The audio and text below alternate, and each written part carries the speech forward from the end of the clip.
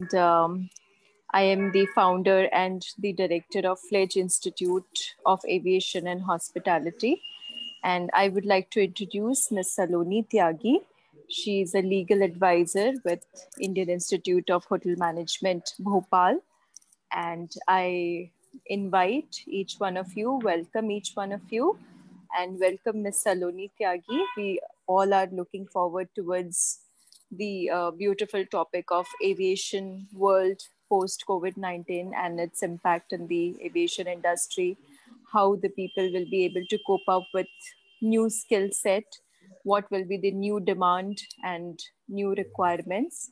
And since we all belong to aviation industry, we inspire, encourage the new generation, our friends, colleagues, students. We would like to know from your end, your side, that what do you think about it?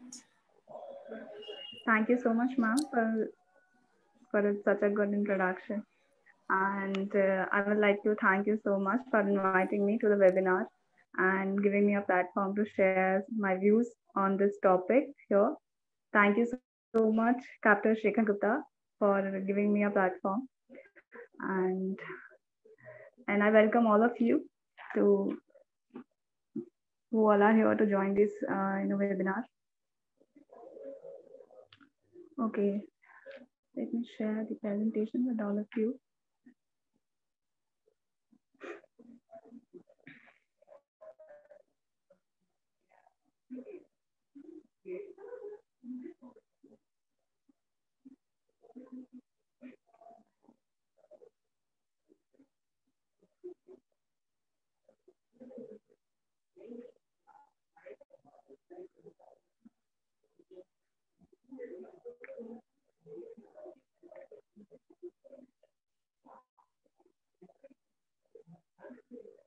Okay, let's start uh, without the presentation. I guess there is some issue. Okay, let me introduce my topic first. Uh, the topic is all about global aviation and the aeropolitics. I don't know how many of you know about the word, uh, you know, um, wait, about this word, aeropolitics. Give me a second.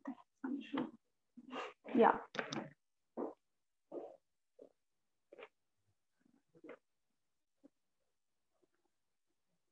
Can I join you back in a minute? There is some issue. Sir, you take your own time. Not Yeah. an issue at all.